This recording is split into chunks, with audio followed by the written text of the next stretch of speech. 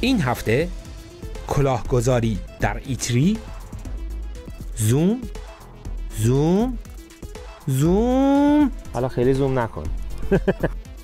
و چاره برای کوررنگی.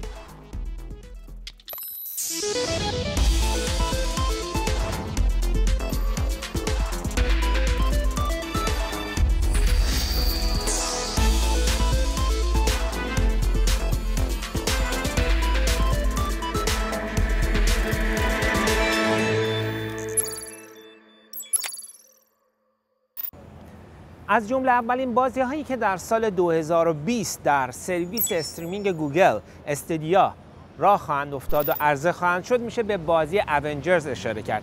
Avengers مربوط میشه به دنیای مارول دنیایی که پر از ابرقهرمان هایی هست مثل Spider-Man، Iron Man، Hulk و همینطور Captain America. در این بازی برخی از این ابرقهرمان ها با هم توی دردسر میافتند. علیرضا واسفی به تماشای نیم ساعت از این بازی نشسته که هنوز به نمایش عمومی در نیومده. شخصیت های اونجرز که از کتاب های کمیک شرکت مارول به پرده های سینما پرواز کرده بودن حالا یه مینی بوس در بس گرفتن که بیان به دنیای بازی. قرار آخرای اردیبهشت سال دیگه به خونه های ما برسن. توی مینی بوس هاگ آیرون من کپتن امریکا بلک ویدو و ثور نشستن. Ant-Man رو ندیدیم که خیلی هم تعجب نداره از بس ریزه. ولی مسئولین وقت تایید کردن که تشریف دارن. ما قبل از این Lara Croft رو ساخته بودیم که مکانیک ها و مهارت های متنوعی داشت. اما حالا پنج تا کاراکتر داریم که پرواز می‌کنن رعد و برق می‌زنن و زمین و زمان رو به هم میریزن. ما ساختن کاراکتر رو از نو یاد گرفتیم. باید تجربه ساختن یک بازی سینمایی اکشن ماجراجویی متکی به کاراکتر رو بسط می‌دادیم. از یه شخصیت به پنج شخصیت. و چه بسا برای تعداد بیشتری قهرمان در آینده. خیلی چالش بزرگی بود. وقتی تو کنفرانس خبری Square Enix برای اولین بار تریلر Avengers رو پخش کردن خیلی بازی هیجان انگیزی به نظرم نیومد. اما ماجرا از وقتی جالب شد که تقریبا نیم ساعت از gameplay رو در پشت درهای بسته توی E3 به خبرنگارها نشون دادن. داستان بازی یک ماجرای جدیده و قبلا توی هیچ کتاب یا فیلمی از مارول ندیدیم. ماجرا پنج سال بعد از شکست در آخرین مأموریتشون شروع میشه.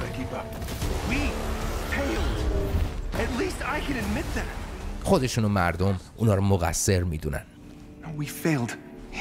هر کدوم از قهرمان ها قابلیت ها و سبک های بازی مختلفی دارن که به نظر من مجهزترینشون آیران منه.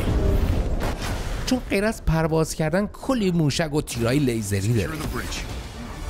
پاکم که مثل لودر میمونه.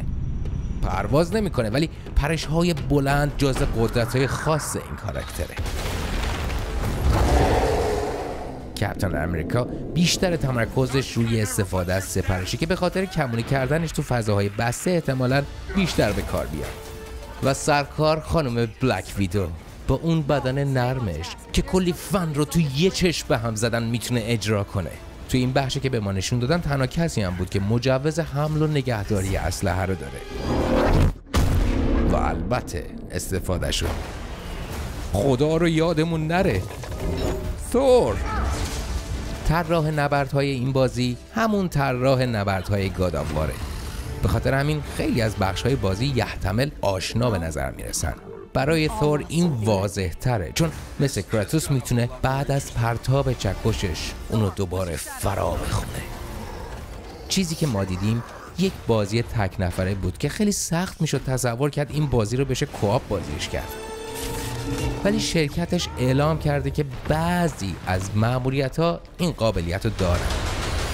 سازنده های بازی امیدوارن این بازی بتونه جا پای فیلم اونجرز اند گیم بذاره. انتقام جویان آخر بازی که بیشتر از دو نیم میلیارد دلار تا حالا فروش کرده.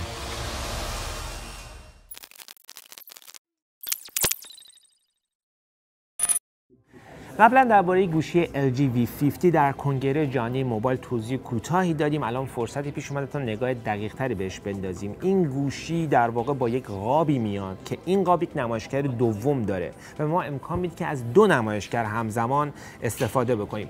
دو تا نمایشگر به چه دردی می‌خوره؟ برای افرادی مثل من که مثلا از سوشال میدیا یا رسانه های اجتماعی شبکه های اجتماعی زیاد استفاده می‌کنن خیلی پیش اومده که مثلا می‌خوایم یک رخداد زنده مثل یک فوتبال رو تماشا کنیم. همون لحظه می‌خوایم درباره چیزی که می‌بینیم در توییتر مثلا چیزهایی بنویسیم. خب در همچین مواردی این گوشی خیلی به درد می‌خوره. برای اینکه فرزن اگر ما یک ویدیو رو اینجا ببینیم می‌تونیم همزمان روی صفحه دوم مثلا خبر بخونیم یا توییترمون رو واکنیم و چیزی بنویسیم. یکی دیگه از کاربردهایی که می‌تونه این گوشی داشته باشه امکانات جالبی که دوربین عکاسیش در اختیار ما می‌گذاره. این دوربین عکاسیش اگه دستمو نگه دارم روی این دکمه خواهید دید که دوربین های مختلفش رو میشه این پایین دید و بینشون انتخاب کرد که فرزن از کدوم دوربین با چه اندازه من می‌خوام عکاسی بکنم. اگر دستم رو بذارم روی این کلمه میرور مود در واقع حالت آینه اون وقت اگر من بخواد از زاویه عجیب غریبی مثل این عکاسی بکنم فرزن اینجوری بخوام عکاسی کنم می‌تونم از این یکی نمایشگر ببینم که چی رو دارم می‌بینم و بهترین حالت رو انتخاب کنم و عکسم رو بگیرم. خب اجازه بدید ببینیم که این گوشی چه امکاناتی رو برای گیمر کسی که می‌خواد گیم بازی بکنه در اختیار قرار بده. اگر من برم و فرزن بازی سونیک رو انتخاب کنم توی این نمایشگر می‌تونم ببینم که چه اتفاقی در بازی می‌تونه بیفته. نمایشگر پایین رو تبدیل کنم به جویستیک که البته امکان این وجود داره که صفحه کلیدهای مختلف و کنترل های مختلف رو اینجا طراحی کنم. من با این الان کار دارم. بریم یه خود بازی کنیم ببینیم چه جوریه. خب. ما اول باختم خب این از گوشی LG V50 سری بزنیم به نمایشگاه ایتری ببینیم علیرضا از دنیای بازی دیگه چی برامون آورده. از 20 بازی پرفروش پارسال فقط دو تاشون برای بردن نیاز به بکش بکش و خشونت شدید نبود. نمیگم این لزوما چیز بدیه ولی شاید هم خیلی ها بپرسن آیا ممکنه بدون زدن و شلیک کردن و منفجر کردن هم از گیم بازی کردن لذت برد؟ امسال تو ایتری می‌خوام با گیم های غیر خشن یکم خودم رو سرگرم کنم. از کجا شروع کنیم؟ اوه نه این خیلی خشنه. این هم که اصلا به نظر خیلی سختتر از این حرفا میاد. فکر کردم غیر خشن ترین گیم ها بازی های ورزشی هستن. یه سری رفتم ای پلی که امسال با فیفا 20 NFL جدید دل ورزشکارا و ورزش دوستا رو شاد کرده.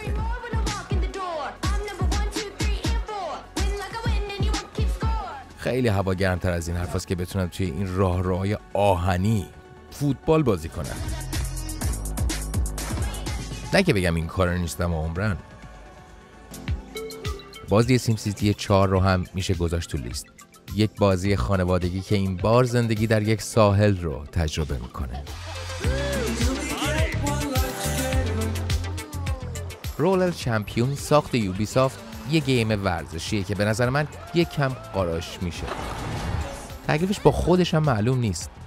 بگمانم اگر Starlight Express با Rocket League عروسی کنه بچهشون یه چیزی شبیه Roller Champion از کار در میاد.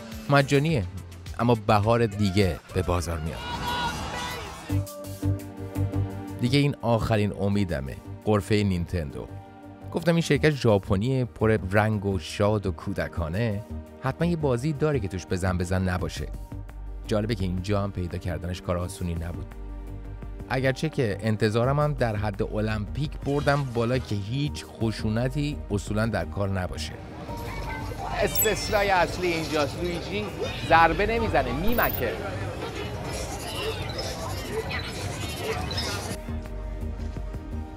آخر سر چند تا بازی پیدا کردم که خشن نباشن و ارزش بازی کردنم داشته باشند ولی کاملا می‌شد دید که بودجه های بزرگ و تمرکز اصلی شرکت ها برای تولید بازی ها با اکشن و خشونت بیشتره. چرا؟ بازی های خشن فروش می‌کنن. همینطور متاسفانه game های خشن برای رقابت بهترن. game های رقابتی غیر خشن هم هستند ولی بازی های مثل Call of Duty یا Street Fighter از منظر رقابتی بودن بهترن. قابل تاسف است که مردم فکر می‌کنن بازی های خشن باعث خشن شدن آدم ها میشن. هیچ شاهدی بر این مدعا نیست و دلایل نقضش هم وجود داره. برای اینکه من از یه بازی لذت ببرم اون بازی نباید لزوما خشن باشه. ولی حذف خشونت به هر قیمتی ممکنه جلوی خلاقیت رو بگیره.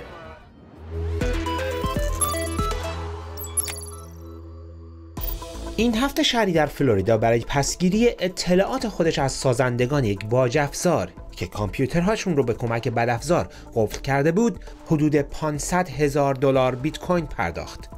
مهندسان شرکت تویوتا با ساخت رباتی که می‌تونه توپ بسکتبال پرت کنه رکورد زدند نام این بات Q3 و موفق شده 2020 توپ رو به داخل حلقه بسکتبال پرتاب کنه اوپو از نمونه آزمایشی گوشی جدیدی رونمایی کرده که دوربین جلوش زیر نمایشگر پنهان شده.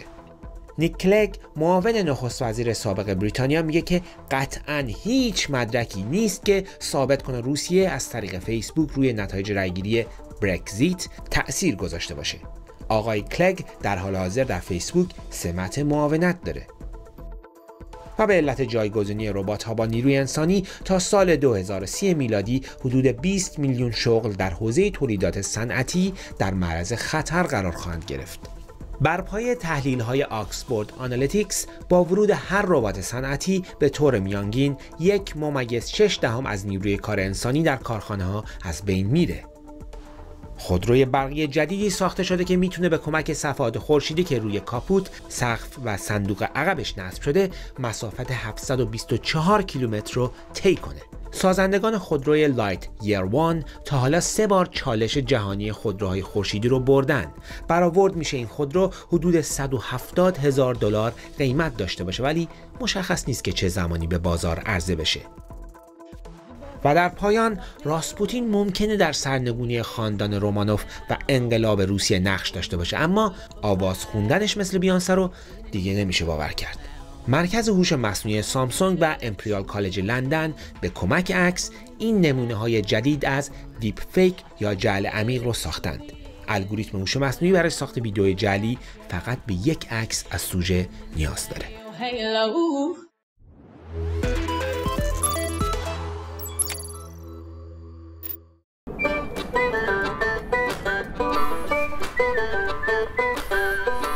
در سالهای گذشته کیفیت دوربین موبایل ها بهتر و بهتر شده. هر کدوم از غول های این صنعت می‌خوان یه چیز بهتر از بقیه تولید کنند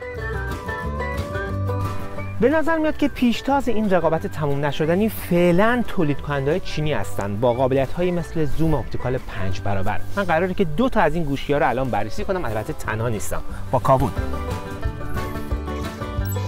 گوشی اول اوپو رنو 5G جزئیات تصویرش خیلی خوب است ولی کمی بیش از حد شفاف است.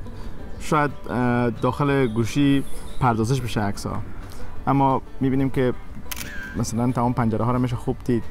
جزئیاتش خیلی خوب افتاده. مثل جرثقیلا مثلا این ساختمان ها برج ها آره جزئیات کاملا مشخصه واضح حتی, حتی میشه پنجره ها رو تک تکشون دید. حالا خیلی زوم نکن. تو پنجره مردم. و اما محصول شرکت جنجالی هواوی. پیتر تی پرو خب در مورد این در اول که فکر کنم دکمهش گذاشتن بیشتر برای سلفی که اینجا راحت است که بخوایم سلفی بگیرم یعنی اگه بخوایم ولی اگه بخوایم اینطوری انگشتون نمی‌رسه. خیلی چپ گذاشتن. خب این حتما گذاشتن که اینو بس رو صفحه مثلا عکس بگیره آدم. آره. ولی خب اگه این برای چپ دستان مناسبه اون وقت موقع سلفی برای چپ دست مناسبه آره چطوری عکس بگیرین ولی به هر حال سایه آسمان مثلا لایه هایی که پشت برجا می‌بینیم اینا خیلی خوب نشان میده که فکر کنم برای عکاسای حرفه‌ای خیلی مهم باشه. زوم هم میشه کرد. آره زوم 50 برابر میشه زوم کرد اینو. آه آه. زوم 50 برابر داره واو چه جالب. ولی آره ولی دستم میلرزه کمی فکر کنم یک برج می‌بینم اصلا دست نلرزم فکر می‌کنم که به هر حال یه لرزش مختصر هر کسی آره. داره دیگه. ولی فکر کنم نیاز به سپایه است. ولی اگه بخوایم سپایه برای دوربین گوشی نصب کنیم چه نیازی به موبایل داریم؟ اما به هر حال خوب است شفاف است اما فکر نکنم در عمل زیاد به درد بخوره عملا به درد نمی‌خوره. در عمل. ولی می‌تونیم خانه ها رو ببینیم. آره.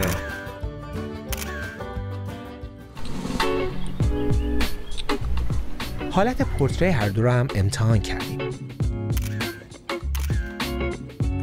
خب اینکی خیلی متوسط به نظر می‌رسه. اوپو رنگش سرد و آبی است و نورش هم زیاد خوب در نیاورده. این هواوی چطوره هواوی به نظر می‌رسه که بیش از حد روش کار شده پردازش شده. غلظتش یک کمی زیاد است و کنتراستش هم خیلی شدید و بالاست. ولی من از این بیشتر خوشم میاد خیلی باله. خب به درد کسایی می‌خوره که می‌گذارن عکس تو اینستاگرام و فیسبوک دقیقاً به درد این خیلی اینستاگرامیه آره. کابون حیرت کرده بود که چه کارایی میشه با دوربین گوشی همراه کرد. ولی ببینیم رأی نهاییش چی بوده. خب من بیشتر اوپو شگفت زده کرد چون وقتی عکس می‌گرفتم حس حال بهتری داشت عکس رو خوب می‌گرفت. کنتراستش زیاد بالا نبود. جزئیات عکس می‌شد براحتی دید و زیاد عکس رو دستکاری نمی‌کرد. اما هواوی یک کمی دیجیتال به نظر می‌رسید و رنگ هم زیاد طبیعی نمیافتاد توش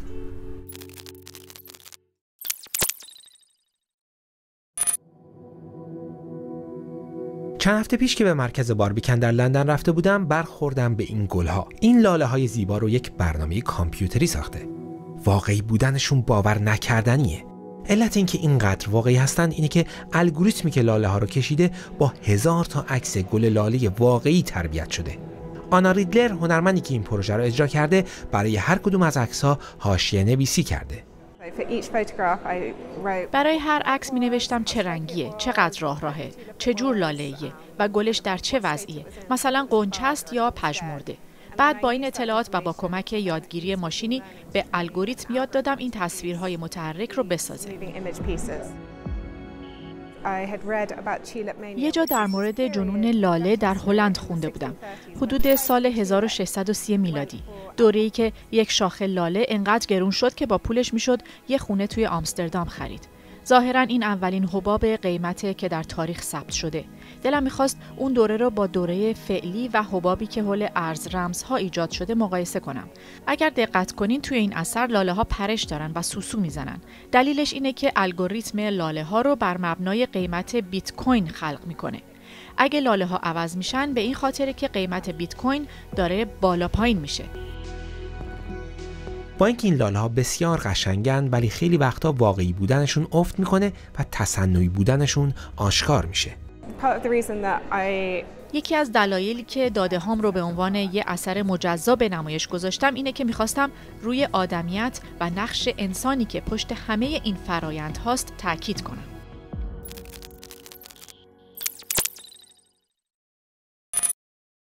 و حالا وقتش بریم سراغ همکارمون جنکوبسته که از یک محصول جدید گزارشی تهیه کرده که هدفش آدمهای کوررنگه ببینیم واقعا کار می‌کنه یا نه خیلی فرق می‌کنه. شوخی نمی‌کنم. خیلی فرق می‌کنه. دنیای واقعی دیگه. رنگ ها رو اینجوری می‌بینی. این لحظه بود که سباسیان نه ساله برای اولین بار عینک انکروما رو امتحان کرد. این عینک برای کمک به کسانی که بعضی رنگها رو نمی‌بینن ساخته شده. شبیه این ویدیوی سپاسیان زیاد روی اینترنت منتشر شده. Oh بعضی از این ویدیوها چندین میلیون بار روی یوتیوب دیده شدن. اگر روی اینترنت بگردین ده ها مورد پیدا می کنید که خانواده ها درخواست کمک مالی کردند که از این عینک ها بخرن. به خاطر اینکه نسبتا گرونه. برای بزرگسال از 349 دلار شروع میشه و برای بچه ها از 269 دلار. در بریتانیا هم حدودا همین قیمته. کریس پدر سپاسیان اولین بار توی یه ویدیو این عینک رو دیده و یکی گرفته بود که پسرش امتحان کنه. به نظرم این شبیه بقیه نارسایی ها یا بیماری های بچه هاست. آدم احساس عجز داره و حاضر هر کاری بکنه که اون مشکل رو حل کنه یا اقلا کمی بهترش کنه. Um, سپاسیان مادرزاد یک نارسایی بینایی داشت به اسم پروتانومالوس تریکوماسی که گاه بهش کوررنگی قرمز و سبز هم میگن شخص مبتلا به این نارسایی به طور خاص به رنگ قرمز حساسیت کمتری داره حدود 8 درصد مردها و نیم درصد زنها به نوعی مشکل کوررنگی دارند با سپاسیان و پدرش در مؤسسه چشم پزشکی دانشگاه کالج لندن قرار گذاشتم. این کتاب رو چه رنگی می‌بینی؟ به نظرم قرمز میاد ولی می‌دونم صورتیه. چقدر جالب. واقعا جالبه. حالا میشه عینک رو بذاری بگی چه رنگیه؟ الان قطعا صورتیه. اگه میشه دوباره عینک رو بردار. اینجا چند تا بادکنک داریم. این بادکنک رو چه رنگی می‌بینی؟ سبز می‌بینم ولی می‌دونم نارنجیه. آفرین. با عینک چی؟